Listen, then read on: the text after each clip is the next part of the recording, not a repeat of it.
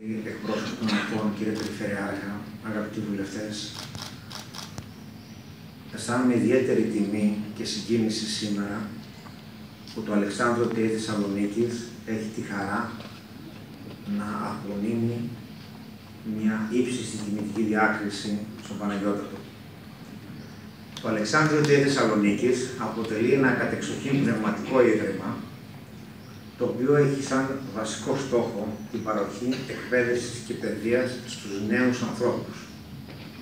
Αντιλαμβάνεστε λοιπόν ότι ο ρόλος του είναι πάρα πολύ σημαντικός μέσα στον ιστό της κοινωνίας.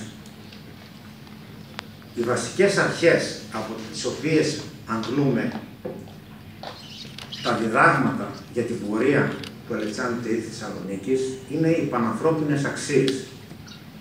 Αξίες στις οποίες και σήμερα η Εκκλησία παραμένει βασικός θεματοφύλακας.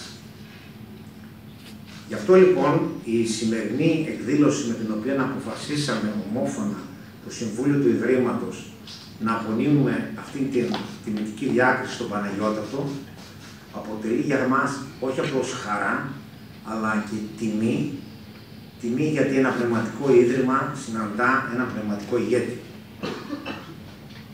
Θα πρέπει να ξέρετε ότι ο Παναγιώτατος την χάνει γενικά καθολικής, θα έλεγα, αποδοχής και ότι ακόμη και αυτοί οι άνθρωποι οι οποίοι έχουν διαφορετική άποψη από αυτόν δεν μπορούν παρά να το αναγνωρίσουν το ότι αγωνίζεται ο ίδιος στεναρά, ανιδιοτελώς για να μπορέσει να επιτύχει αυτά που θεωρεί ότι είναι σωστά για την κοινωνία και την πατρίδα.